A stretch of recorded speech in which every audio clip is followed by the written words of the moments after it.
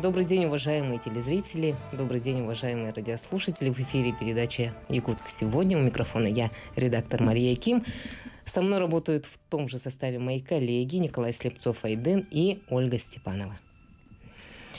С 13 по 14 мая, марта в Якутске пройдет 12-й гражданский форум, посвященный Году семьи в России и Году детства в республике. На полях состоятся обсуждения и поиск решения наиболее важных проблем нашего общества – на два дня объединят свои силы, идеи, возможности представители гражданского общества, НКО, гражданские активисты, органы местного самоуправления, бизнес-сообщества и власти Якутии.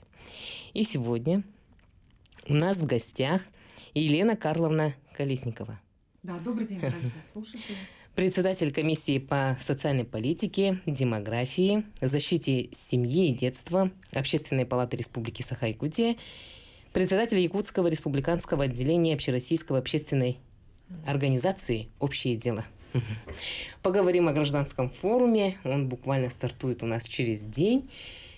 С чем вы туда придете и за какую секцию вы дискуссионную площадку вы будете отвечать? А, да, удивительное такое событие, потому что это такая площадка для а, общественности, угу. для вот как мы много кричим о том, что мы должны развивать гражданское общество, это как раз такая площадка, где гражданское общество может между собой, внутри, mm-hmm. с друг другом а, при подключении и государственной власти и там, различных органов власти, там, законодательной и так далее, и очень привлечением очень много интересных экспертов, мы можем обсудить как раз насущные проблемы и решить их, потому что... Решить главное. Да, самое главное, что решить, потому что вот по сути а, вот эта вся общественная деятельность и вот наше гражданское общество направлено на решение сложных социальных проблем, на которых не успевает реагировать государство в той или иной причине, или не успевает вот эта такая большая махина, да, бюрократическая, как-то среагировать.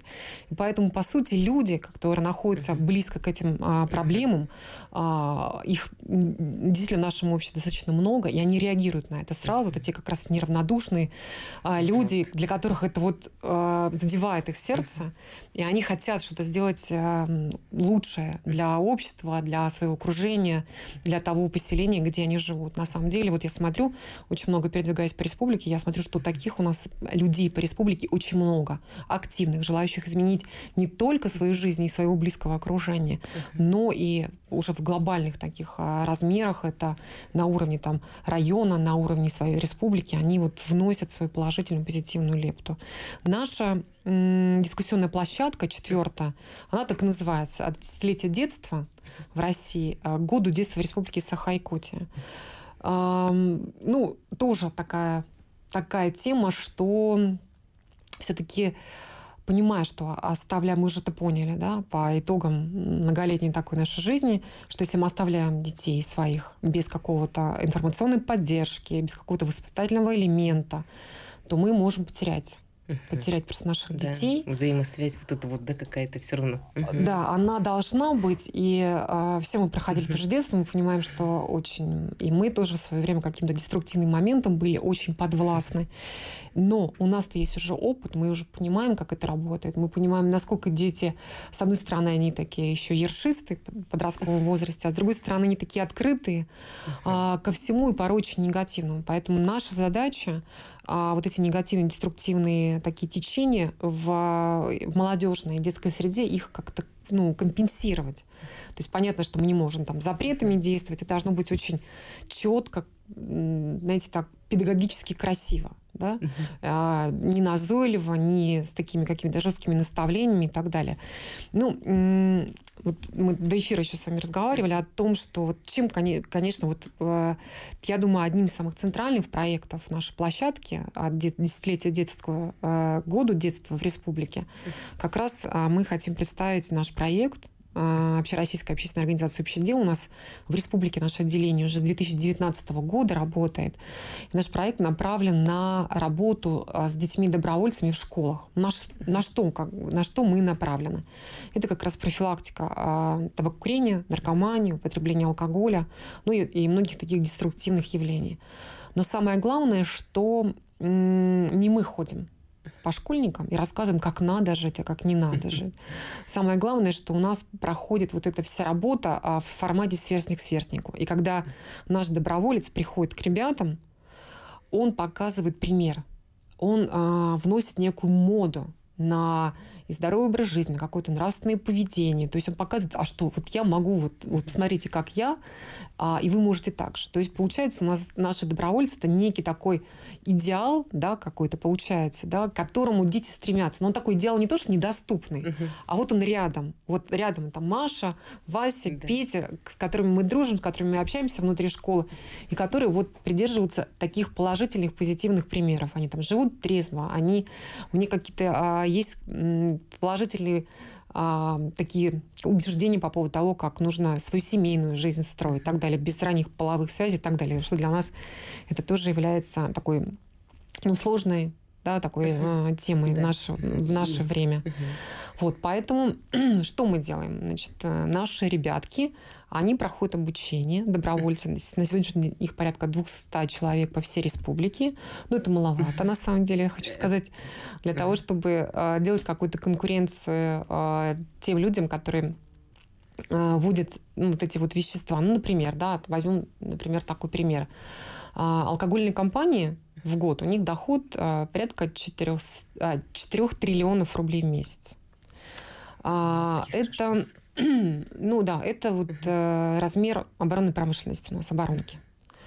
А, и по всем законам маркетинга на рекламу а, своей продукции они направляют порядка 400 миллиардов рублей. Мы ее не видим, эту рекламу, мы, знаете, ее не замечаем. Но она как впечатывается к нам в мозг, uh-huh. когда мы смотрим сериалы, когда мы стро... смотрим каких-то блогеров, когда мы смотрим какие-то а, видеоролики, там, певцов и так далее. А там каким-то незаметным путем, да, вот все время в экране проходит, это называется product placement, такой, такой вид рекламы, и там все время там либо какие-то, значит, электронные сигареты, либо э, какой-то алкоголь, и это продвигается. Ну, например, там, а, ну, уже объявлен, по-моему, иногентом Моргенштерн, он а, еще даже не выпустил свой ролик, а, но до выпуска роликов он значит, заявил о том, что он получил а, за него 50 миллионов рублей за рекламу водки. Она просто там в кадре промелькнула. Mm-hmm.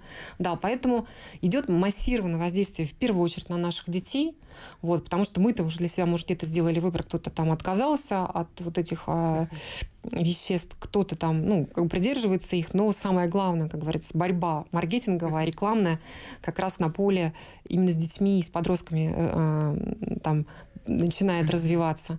Вот, и поэтому борется за них. Кто у нас? А, самые такие продвигатели это как раз молодежные кумиры, mm-hmm. это молодежные разные, различные сериалы, где это все значит, а, очень мощно транслируется. И э, не понимая этого, на самом деле молодежь у нас вовлекается вот в это такое аддиктивное поведение, и они, самое интересное, что они уверены, что это их выбор. То есть, когда, они, когда к ним приходят взрослые, говорят, что вот это нельзя, это плохо для вашего здоровья, у них есть ощущение, что это их выбор, потому что там а, как вот говорят наши знакомые, которые там поработали в этих маркетинговых а, значит, отделах этих фирм, они говорят, что там гении рекламы, маркетинга. То есть они... Прямой рекламы так таковой нету, но да, прямой. Вот в том-то и дело, что ее нет. И вы никогда не поймете, что это реклама. Что это просто какое-то даже психологическое, такое психофизиологическое воздействие, что ребенок, ой, блин, я хочу вот так, я хочу вот так жить, я хочу так веселиться. И у него идет прямая ассоциация именно там вот, э, курить эти значит, электронные различные гаджеты или, например, употреблять алкоголь. Поэтому здесь для нас э, очень важно создать такой образ детей, которые, а, ну, другой делают выбор. Они делают его осознанно, мы никого не заставляем. Вот, обычно к нам приходят дети, которые по своему желанию хотят работать. Мы а, обычно проводим какие-то крупные мероприятия, и по итогам их уже дети решают, да, я хочу вот с этой организацией поработать. А, что, как, как они, как вообще это происходит. То есть у нас создаются фильмы, мультфильмы общего дела, которые не только создаются ребятами, режиссерами, они еще и психологами, и психологи, и они же еще являются экспертами Роскомнадзора. Те люди, которые а, знают, как нужно подавать вот эту информацию, чтобы детям было неинтересно попробовать, а чтобы они действительно понимали, что они не хотят таким так жить. То есть, чтобы они осознанно понимали а, здесь всю плачевность вот такого негативного вы, э, выбора и всю деструктивные, может быть, результаты, если они, например, сделают такой выбор. Вот. И поэтому э, уникальный тоже такой профилактический контент, вот эти фильмы, мультфильмы, и э, каждый доброволец у нас снабжается специальной программкой, где прописан урок от «Здравствуйте» до сложных вопросов. Они показывают этот фильм, э, организуют беседу и э, проводят таким образом огромную э, систематическую, комплексную профилактическую работу в школах. То есть у нас, создаются, у нас создаются команды э, добровольцев, которые вот работают вот э, по этим материалам. А самое радостное это для меня, что это уже целая армия, 200 человек по всей республике, и будут приумножаться и приумножаться, потому что за ними, я так думаю, что если идет только на увеличение количества данных добровольцев, то все будут за ними. А я вот не понимаю, они как сверстник к сверстнику приходят, да? Вот, да, они приходят как сверстник к сверстнику. Uh-huh. А, ну, как, то, есть, то есть они работают в основном в своей школе. Uh-huh. То есть там делают это все работу. То есть еще раз, как бы, ну, если посмотреть на такую неравную, как говорится, борьбу, а, uh-huh. значит, вот эти транснациональные крупные компании, которые а, внедряют через там какие-то там косвенную рекламу, а, а, вот такой вид поведения, потому что они имеют с этого деньги огромные. Да. Угу. А, а что нам противостоит? Мы теряем огромное количество населения ежегодно, угу. притом а, детей все больше и больше и все мощнее и мощнее в это втягивают, к сожалению, да.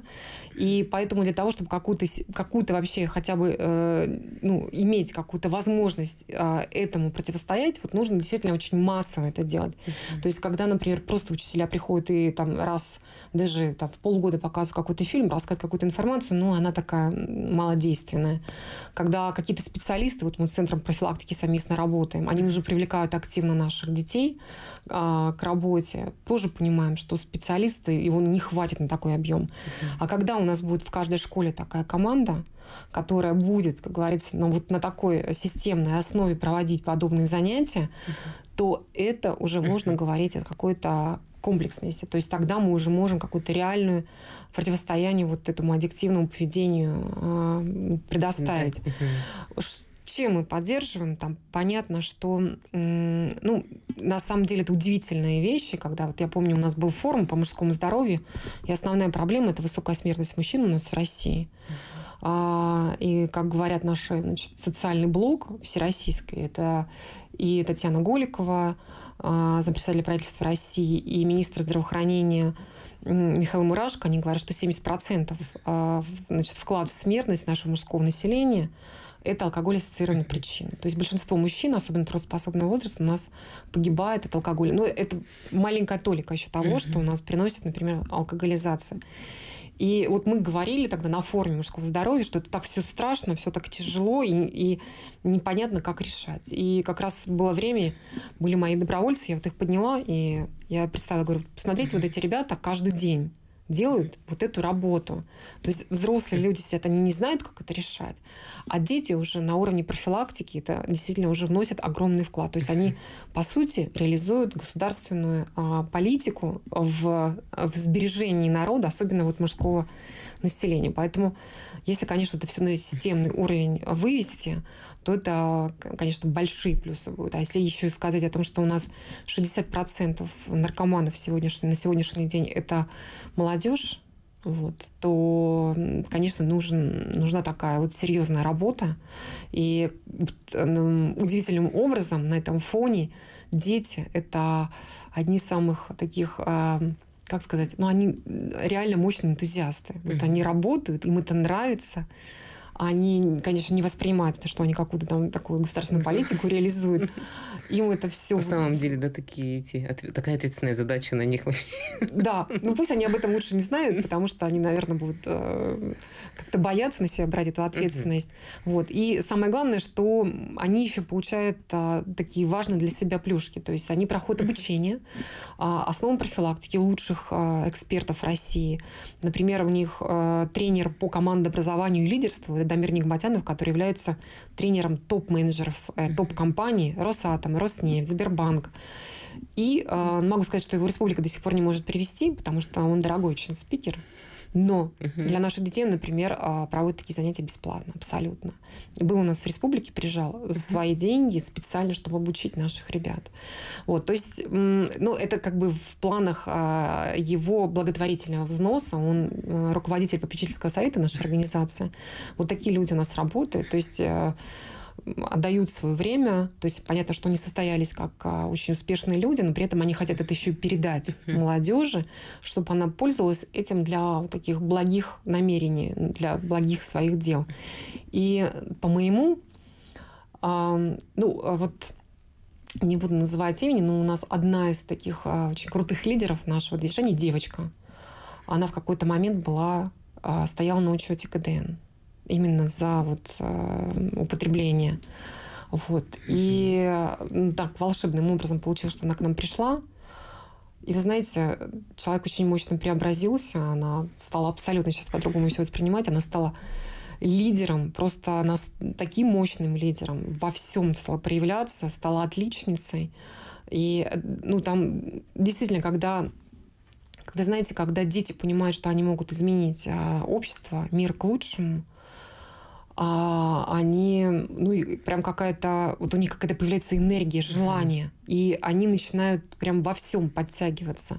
И вот я вижу это на, на наших добровольцах, это просто удивительная метаморфоза, удивительно, они меняются, такими становятся ну, профессионалами, потому что вот дети вырастают, и они вот эти приобретают навыки, которые им очень помогают. Притом э, наши многие ребята после вот этой деятельности устраиваются на работу, когда они говорят, что они работают, угу. работали добровольцами, а, они прошли вот такие обучающие курсы по ораторскому мастерству и легко а, проводили занятия а, перед детьми, на многие прям должности их берут с руками и ногами. Такие дети нужны те навыки, которые они приобретают во время вот этой деятельности, они очень востребованы, а, когда они уже идут в такой уже взрослый мир, в работу.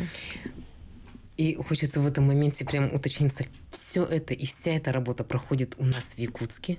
Да. И идет по всей республике ну, ага. по многим районам, скажем uh так, uh но еще а, хотелось бы охват uh значительно увеличить, чтобы прям максимально во всех районах. Мне было. кажется, вообще вот сейчас так быстро с этим общим делом, что за вами очень многие пойдут. Тем более, если там сверстник к сверстнику, и тем более такая жизненная история. Девочка стала, может стать ярким примером того, как можно пойти практически, да, там, ну, не буду говорить там по правильному пути, там, да, у каждого же каждый взгляд там угу, на правильный угу, путь угу, что она изменила свою жизнь, изменила свою жизнь в лучшую сторону. И вот ярким примером. И вот она среди... И она в числе добровольцев. Наверное, мне кажется, это не единственная история, да? Это не единственная угу. история. У нас были истории, когда, например, а, приходили к нам в движение, потому что у них родители были проблемные. И они... У кого-то получилось решить эту проблему со своими родителями. Даже так? Да, да, да даже так было. И, э, и вы знаете, я помню просто... Ну, у всех бывают такие моменты, особенно в общественной деятельности, yeah. когда устаешь от нее и думаешь, блин, как я устала, может, все это бросить. Но не, но не тут-то, значит, но не тут-то было. И одна девочка мне просто сказала, говорит, Елена Карловна, вы не представляете, как я вам благодарна, потому что я не знаю, кем бы я могла стать, вообще во, во что бы я могла окунуться, потому что Потом она мне сказала, что она стояла на грани употребления наркотиков. И благодаря тому, что она пришла к нам в движение, она не, этот, не стала употреблять их, и она в девятом классе стала предпринимателем.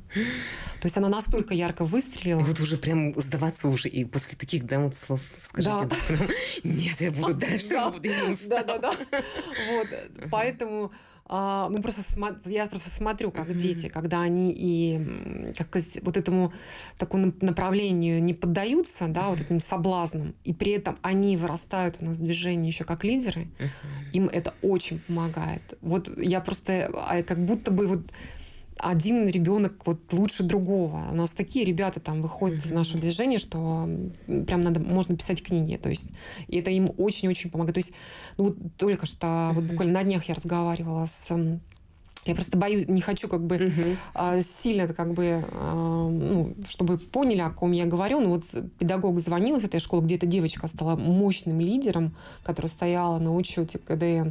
Она говорит, Вы знаете, такие метаморфозы с, с, с ней случились. Поворот просто на 180 градусов. Она говорит, я не знаю, куда бы пошла бы ее жизнь, если бы она осталась вот в той как бы среде, в, том, в той атмосфере. А теперь это просто, это действительно лидер нашего общества. К сожалению, Елена Карловна, я так хочу, чтобы вы пришли еще раз к нам на передачу, но мы уходим на перерыв и прощаемся с нашей Еленой Карловной. Спасибо вам большое. Еще раз здравствуйте, уважаемые телезрители, радиослушатели. В эфире передачи «Якутск сегодня».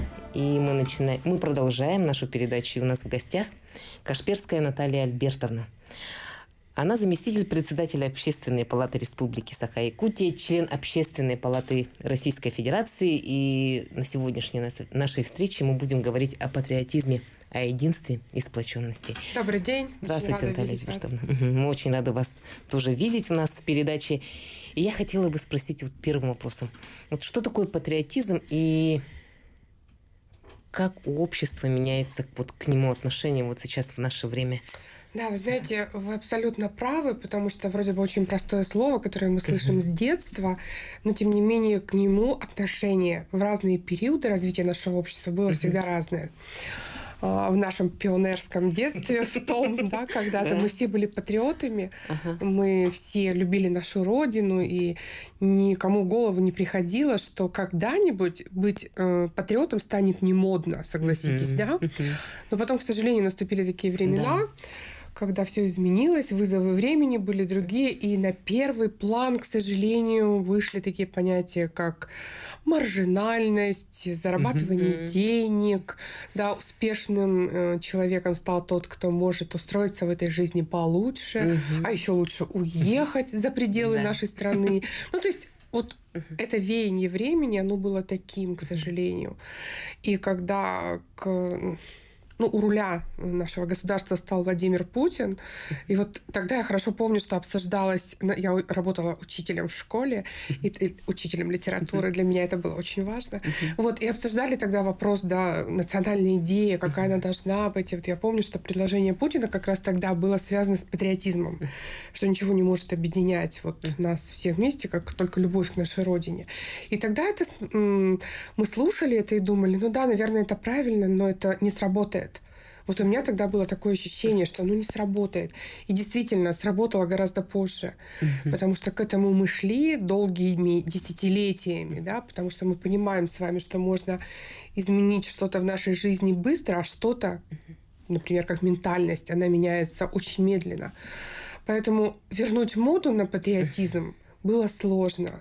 Но наконец-то наступили те времена, когда мы сейчас ценим тех людей, которые гордятся тем, что они живут Российской Федерации, тем, что они живут в республике Саха-Якутия и не мечтают о том, чтобы покинуть да, наш регион, самый большой и замечательный. Вот, поэтому да, меняется отношение к патриотизму. Я очень рада, что такие позитивные преобразования происходят в нашей жизни. Вот. И, вы знаете, странно так, но я даже в те самые плохие для этого термина времена, я почему-то всех людей удивительным образом делила на патриотов и непатриотов. Uh-huh. И это даже не было связано, может быть, с понятием родины. Uh-huh. Ну вот, например, ты работаешь на каком-то предприятии, и последних, с последних сил ругаешь своего руководителя и вообще и это предприятие. И я всегда говорила, а какой смысл здесь оставаться и ругать его? Да. Если ты ничего не можешь изменить, например, да, если у тебя не хватает смел, смелости и сил прийти к руководителю и сделать какие-то предложения, а давайте сделаем вот иначе. Если ты этого всего не делаешь, а просто в куларах ходишь и нашептываешь своим коллегам, что все плохо, все не так, это не патриотично, говорила я. Такая принципиальная молодая девушка была. Вот. Но я думаю, что я правильно, видимо, поступала. И это тоже ведь патриотизм, правда? Вы же любите свою работу. Очень. Я тоже люблю свою работу. И я всегда отстаиваю честь мундира, что называется.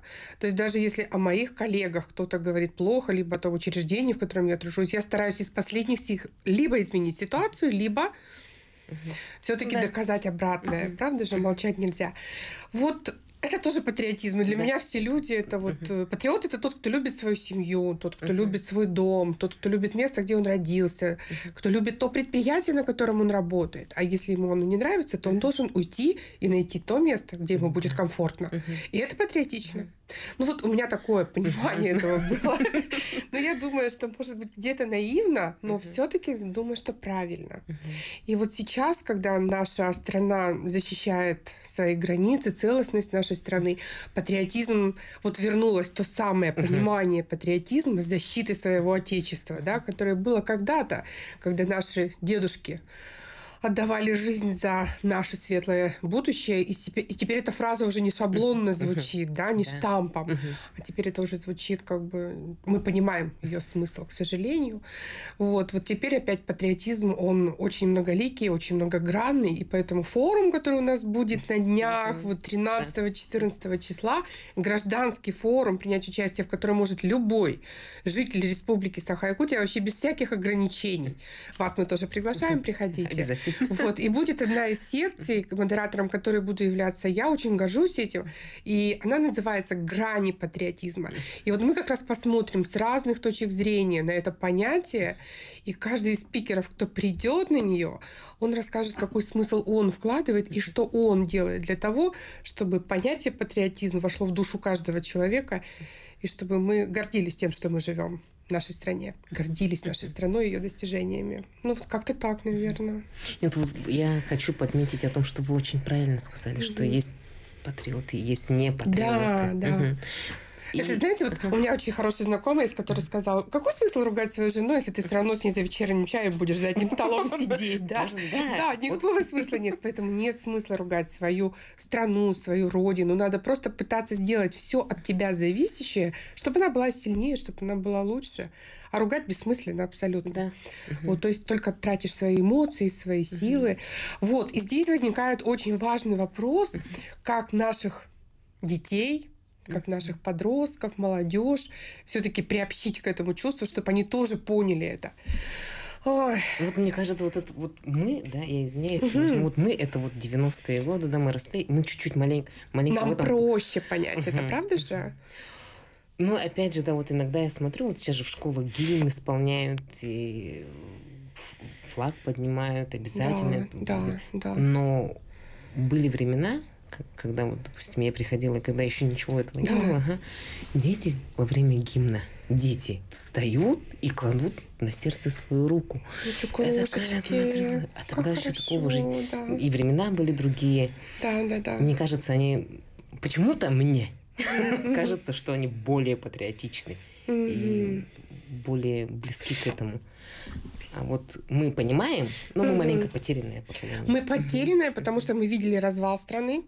да. я, я выросла в Сангарах, и я хорошо помню там какой-то 2007 год, когда я ехала по улицам Сангара в такси и плакала на взрыв, потому что это моя малая родина, по сути дела. Я там э, пошла в школу, и я там выпустилась из сангарской первой школы. Ну, как бы вот юность, да, взросление. Вот, было просто обидно, что центральных улиц нет. Вот просто их нет. Все дома ушли, да, и восстановления еще тогда не было. Сейчас уже красивый поселок. Опять он становится красивым постепенно. Вот. Но это было страшно. Вот когда ты теряешь свою родину. Да. Конечно, очень сложно. Совсем маленьким детям сейчас немного проще. Угу. Вот. Но все равно я хочу обратиться ко всем родителям, чтобы они понимали, что от того, что мы за вечерним чаем говорим между собой, угу. и что слышат наши дети подрастающие, от этого и зависит, вырастут они патриотами или нет. Угу понимаете? Но вообще в Якутии не так все плохо, надо да, сказать. Вот тоже, же? Да, у нас... у нас не так все плохо, потому что, несмотря ни на что, вопреки всему, я очень уважаю это, у нас у каждого, независимо от национальности, у нас есть якутский наряд дома. Вот, да. У нас есть украшения в национальном стиле. То есть мы праздник да, наш, да, вообще. да, на всех обязательно, независимо от того, э, можешь, не можешь, русский ты или не русский по национальности, мы все равно все собираемся и идем, да. Вот. А, все традиции соблюдаем, и здесь э, как бы вот это переплетение культур. Мы и Пасху отмечаем, и оладушки раскладываем да. перед какими-то знаковыми событиями в твоей жизни, да.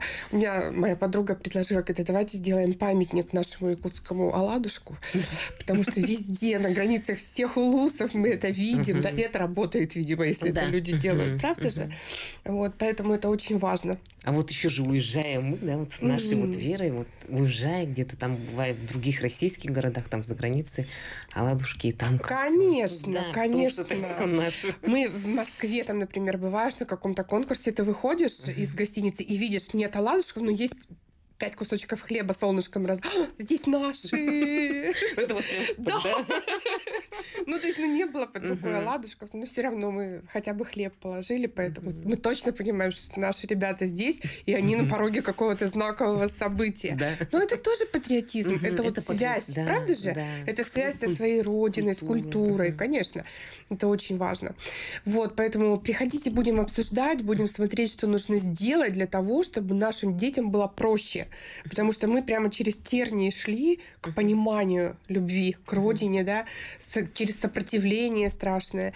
А сейчас, мне кажется, вот роль государства нашего а, не повторять везде о том, что нужно любить свою родину, uh-huh. нужно беречь там свои традиции. Это бессмысленно говорить. Самое главное создать такие условия, при которых ребенок uh-huh. почувствует потребность любить эту родину. Вот это очень важно. Mm-hmm. Создаст условия. И mm-hmm. родители должны об этом помнить, что нужно создать условия, при которых ребенок поймет, что его семья это крепость, это мой тыл, это надежность. Не просто ругать его, а помогать. Действительно, это тыл обеспечить. И тогда он поймет, что это я патриот своей семьи. Понимаете? Все Поэтому да, все начинается с семьи, все начинается с детства. Но государство, надо сказать, делает достаточно много. Да. Посмотрите, мы когда подъезжаем к любому населенному пункту, а я горжусь тем, что была практически во всех улусах нашей республики, если ты едешь по земле, ты обязательно видишь самое лучшее здание, и это школа.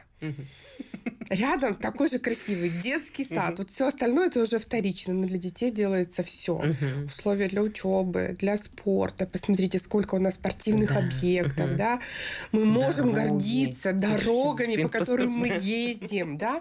У нас есть чем гордиться. На самом деле, любую отрасль возьми, у нас есть чем гордиться. Поэтому благодаря нацпроектам, той вот. политике, которую сейчас лидер нашей страны проводит, и Айсен Сергеевич делает массу вещей, мэр нашего города делает все для того, чтобы этот мастер-план сработал, и чтобы мы действительно завидуем. Пускай нам все завидуют, что мы да. живем в самом лучшем арктическом городе Земли, да? Еще в таких условиях Конечно. мы и строим дороги, и социальные объекты, и все. Конечно. И медицина, какой замечательный центр у нас сейчас построен.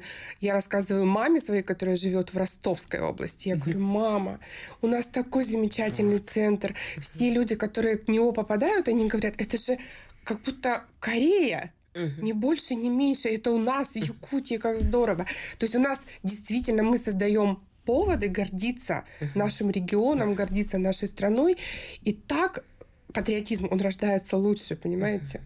И в школах, как здорово, что есть, например, там, э, даже на уровне одного класса мы можем создать условия, при которых мы будем гордиться это наш чемпион, он же победил у нас там-то, там-то. Я горжусь тем, что учусь с ним в, один, в одном классе, в одной школе. Там. Или он из нашего района, этот чемпион. Поэтому спорт, он дает основу патриотизму. Любое изобразительное искусство, пение, что угодно, победа в хоровых каких-то состязаниях, это тоже дает повод гордиться собой, своими одноклассниками, своими родителями и так это далее. Он наш. Да, он наш. Вот он же из нашего, из Шунтарского района, да. И вот это тоже патриотизм, понимаете, мы гордимся этим. Любовь к родине, любовь к своему народу, любовь к своим землякам. Да, поэтому вот, друзья, коллеги, нам важно создавать эти условия, даже даже если мы видим, что их нет, их нужно создать, это очень легко. Никто не заставляет нас строить новые дороги, это, этим занимается государство и делает это очень успешно. А вот на своем, на локальном уровне мы должны продумать это. Вот, поэтому каждый может сделать стоп себе и подумать, горжусь ли я тем, что живу в этом доме, в этом городе, работаю на этом предприятии. Можно изменить свою жизнь всегда и сделать Конечно. так, чтобы было комфортно. Вот Я это, с вами мне кажется, полностью согласна. самое важное, да. И нет смысла тратить свои да. силы на то, чтобы угу. ругать кого-то, угу. да. Лучше созидать. Лучше созидать, да. Я вот тоже выхожу, да, дороги строятся, но это же круто. Когда такое было в последние Да. лет пять? Ну, восемь, да, вот, когда строится онкодиспансер. Да, Он самый крупный по всему Дальнему Востоку. конечно. Кардиоцентр. Продолжительность жизни Да. увеличилась. Это все показывает нам статистика. Конечно. Сейчас еще вопрос ставят по строительству инфекционной больницы. Плюс у нас еще безопасные качественные автомобильные дороги. Да. Вот вот у нас километры только растут и растут. Я, я говорю, что я помню свою дорогу из города Якутска до... Ну, Кобяй свой родной я не буду брать там по реке в основном, а до горного района. И я помню, как там УАЗик таблетка застревал в грязи по окнам, Мгм. и люди его толкали, понимаете? Вот это было на, ну, на моей жизни профессиональной. Я была тогда уже не ребенком, это было совсем недавно. И сейчас ты едешь и не совсем веришь в то, что мы находимся в Якутии, да, и разметка тебе, и красиво, и чисто. и Вот даже эти, деревья да. рядом по- вдоль дороги, они не пыльные. Мгм. К чему мы как-то вот привыкли уже, да, с Ну, детства? опять же, та часть людей, которые не патриоты, как я считаю, Да, да, да, они, да. ну, они хотят все и сразу. Ну, не бывает такого. Нет, конечно, не. Это бывает. все мы идем и идем, Да. и лучше и лучше же становится. Надо видеть эти преобразования Да. абсолютно Мгм. точно. Диванные критики сейчас не в моде, и наша задача с вами, со средствами массовой информации, сообщать как можно больше позитивных, правдивых, позитивных новостей о преобразованиях в нашей жизни. Это тоже повод для того, чтобы гордиться нашей страной и нашим регионом. Потому что как только наш голос смолкает и становится тише, диванные критики тут как тут. Они, они всегда. Ну, опять же, как без них, да? И они начинают опять критиковать что-то, что у нас якобы не так, Да. Ну, я не люблю их, скажу Я честно, я, их не Мгм. люблю. Едешь в такси, когда дороги не делают, говорят, ужасные дороги, сколько можно. Теперь начали делать дороги, Да. и они теперь говорят, когда Ага, закончатся значит, эти пробки, потому что делают дороги. Ну, а Вот. те вот ответственные лица вот за все эти вот проекты, они же, ну, стараются. Конечно, конечно. И как-то и в Поярково, когда ремонтировали, Мгм. помните, и тут, и сразу, и там, и так. А как, как по-другому-то? У Но нас- большинство людей, вспомните проспект Ленина. И тем не менее, и возрастные люди, и с колясками, и никто не жаловался. Мы все понимали, что это делается для нас, Да. для того, чтобы у нас красивый город был. Поэтому А мы было, да? по пыли, как угодно, ходили. Наш офис, я работаю в Высшей школе инновационного менеджмента, находится на проспекте Ленина 1. Мы там тоже долго вот по буеракам, по песку ходили, но каждый из нас понимал, что наступит осень, и будет все очень красиво и здорово. И сейчас очень комфортно, красивое полотно, скамейки. Парковка для велотранспорта. Ну, то есть все прям здорово становится. И так радуется душа. Это и есть же Конечно. тоже чувство патриотизма, да? Конечно. И радость вот это вот. Да, и все продумано для людей, какие-то дополнительные парковка для автомобилистов появилась. Поэтому, да, мне кажется, жизнь все-таки становится лучше. Наша сейчас задача с вами это все удержать, э, проголосовать верно. Вот на днях мы уже идем с вами делать свой выбор. И я очень хочу, чтобы мы не вернулись в те времена, когда патриотизм был в загоне, когда было не модно, стыдно говорить о том, что я люблю свою родину, что я патриот, что я уехала из Якутии на учебу, но обязательно вернусь. Да. Мы это говорили только шепотом, согласитесь, да. Я не хочу, чтобы эти времена вернулись. Поэтому Мы, да, мы идем, приходите к нам, да, приходите к нам на секцию, обсудим все вопросы, все нюансы, выработаем план действий и ускорим. Спасибо большое, Наталья Альбертовна, что пришли к нам. Мы, к сожалению, заканчиваем наш сегодняшний, нашу сегодняшнюю беседу. До свидания и до новых встреч.